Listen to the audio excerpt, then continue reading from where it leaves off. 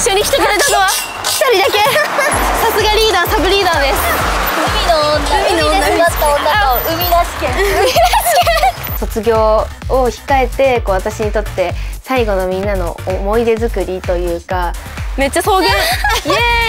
エーイでも色鮮やかはいチーズ上国領さんって猫とかあの上から撮った猫とか猫がたくさんいます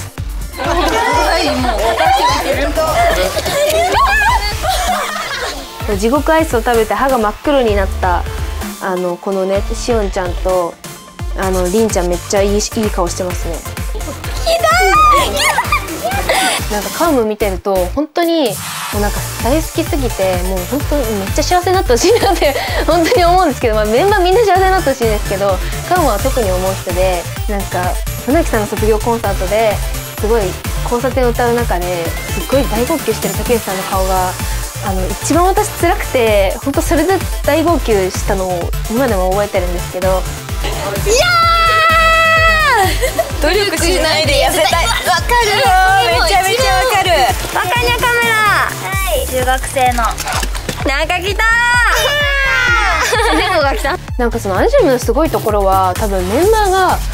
変わってもあの愛が変わらないというかでもそれって多分私が加入した時のグループ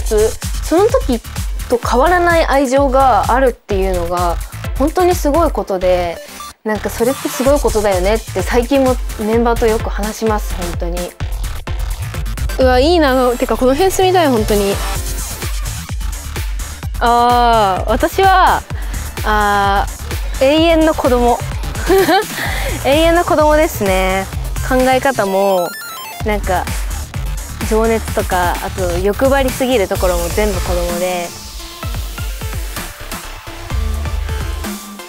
自分がなんかこんなにも愛してもらえるなんか人なのかなってこう思ってしまうくらい戸惑ってしまうくらいの愛を本当にたくさんの方にもらってなので愛してくれてありがとうっていうのと、まあ、私と出会ってくれて本当に本当にありがとうございましたっていうその気持ちが本当にね一番にあります。